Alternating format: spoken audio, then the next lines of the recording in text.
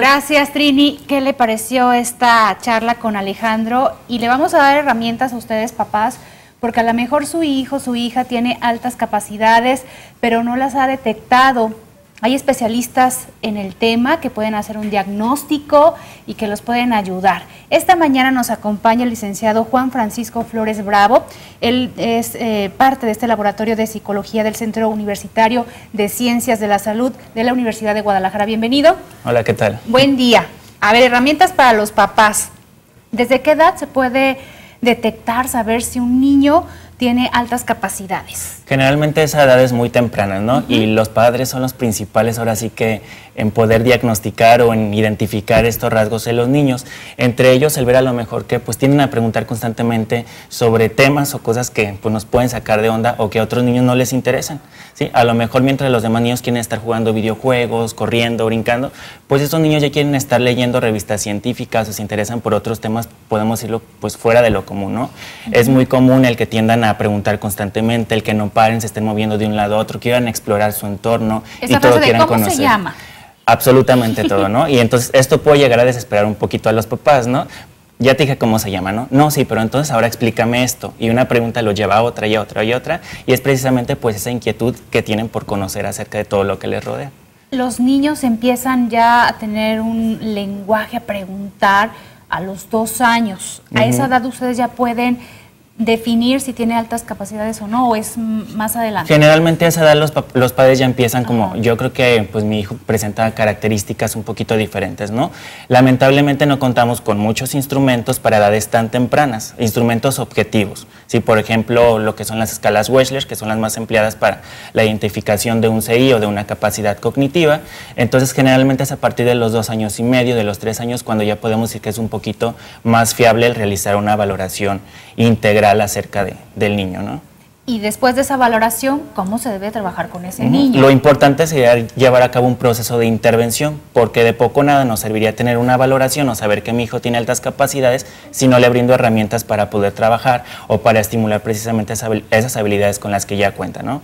¿Cómo se puede realizar la intervención? Pues de muchas formas distintas. Por ejemplo, aquí en México, si el niño demuestra cumplir con un perfil que nos pide la Secretaría de Educación Pública, pues se pudiera llevar a cabo lo que es el proceso de acreditación y promoción anticipada, que quiere decir esto, que el niño pueda adelantarse un grado escolar. ¿sí? Esa es una. Tenemos, por ejemplo, el enriquecimiento que consiste en que el niño, bueno, pues revise temas de su interés con sus profesores, ya sea quedándose tiempo extra en clases o que los maestros le dejen algún material extra para que trabaje en casa o que asiste incluso a algún programa de enriquecimiento extraescolar, como son los que tenemos en la Universidad de Guadalajara. Y que estos niños también tienen un perfil que son muy inquietos, que están brincando, que tú les dices, ¿y dónde se le apaga la pila a ese niño? Y a veces desesperan a los papás. Es el perfil también. Lo platicamos después de la pausa porque es momento de irnos al corte informativo. Quédese con nosotros. Tiene dudas 3030 5307. Regresamos.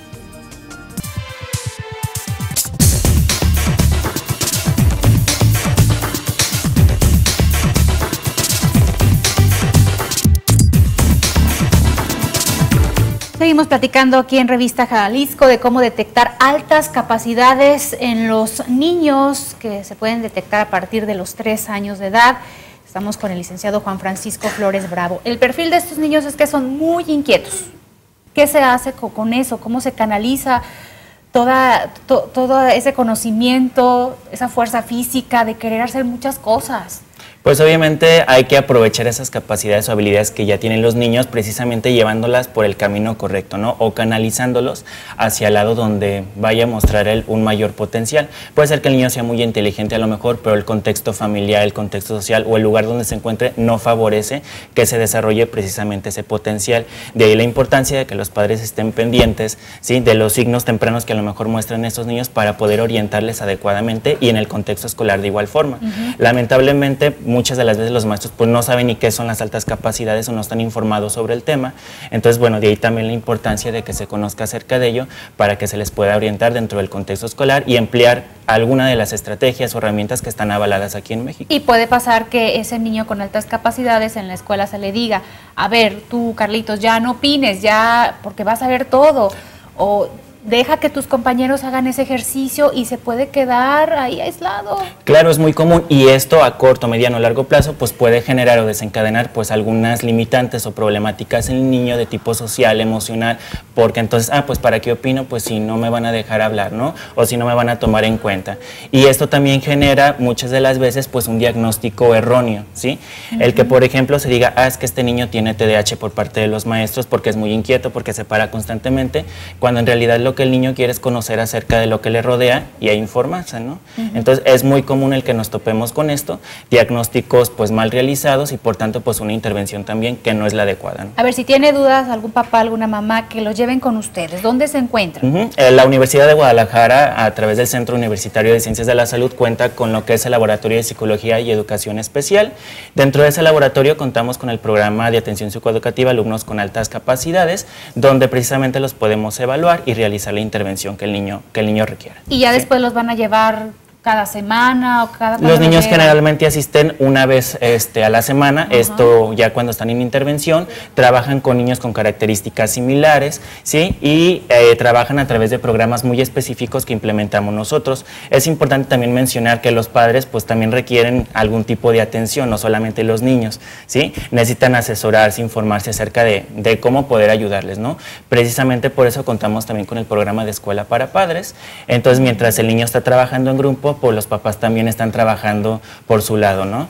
Eh, de igual forma, eh, los docentes, los maestros en la escuela también es necesario que cuenten con información. Por tal motivo, pues brindamos algunas asesorías, los maestros pueden visitarnos y les podemos brindar desde material información para que sepan cómo trabajar. Que ha de ser bien complicado cuando tienes a varios niños, varios hijos, y uno tiene altas capacidades, ¿cómo lo manejo también con mis otros ¿no? Claro, de ahí la importancia también de los padres pues establecer bien su rol como, como papás, porque entonces pudiera suceder algo que no es a lo mejor muy deseado, que el niño con altas capacidades pues adopte el rol del personaje principal de la familia, ¿no? O del papá y se inviertan entonces los roles.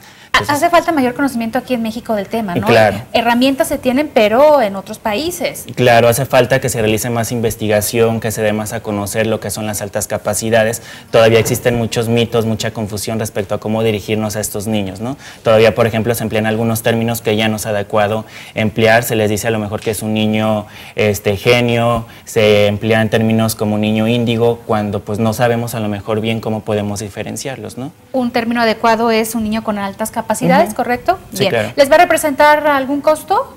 Sí, tiene un costo de 50 pesos la sesión generalmente, pero aún así si quienes asisten no cuentan con los recursos, pues se les puede hacer un descuento o un estudio socioeconómico y lo que puedan pagar. Juan Francisco Flores, gracias por habernos acompañado esta mañana. Gracias, buen día. Momento de irnos con Trini, tiene más información para usted.